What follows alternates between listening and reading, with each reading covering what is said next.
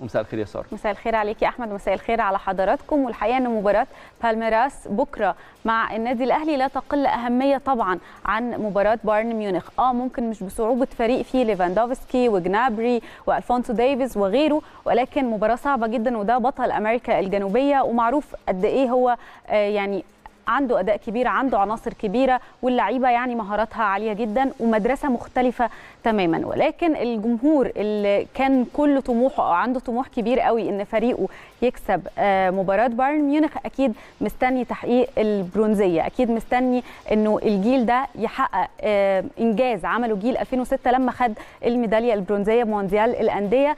مستنيين مباراة كبيرة من النادي الأهلي أكيد ومن الفريق وده اللي الحقيقة اللعيبه يعني بتتعاهد عليه. مع بعض. يمكن كابتن الشناوي كان بيتكلم إنه هدفهم هو الفوز بمباراة بكرة وإنه صفحة بايرن ميونخ اتقفلت. ولكن كل التفكير دلوقتي إنه إزاي نرجع بالمركز الثالث أو الميدالية البرونزية.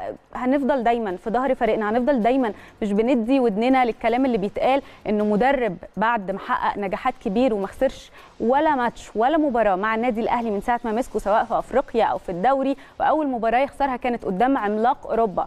بايرن ميونخ اللي هو قدر إن هو يكسب برشلونة 8 2 قدر يكسب باريس سان جيرمان في نهائي Champions League قدر يتخطى يعني عمالقة أوروبا. آه الناس كلها كانت أو ناس كتير بتنتقد إنه ده خسر خلاص خسر قدام بايرن ميونخ. فأكيد إحنا مش بندي ودننا للناس دي اللي الحقيقة أي حد بيتمنى حاليا إن هو يكون مكان النادي الأهلي وبيشرف الكرة المصرية والإفريقية عالميا.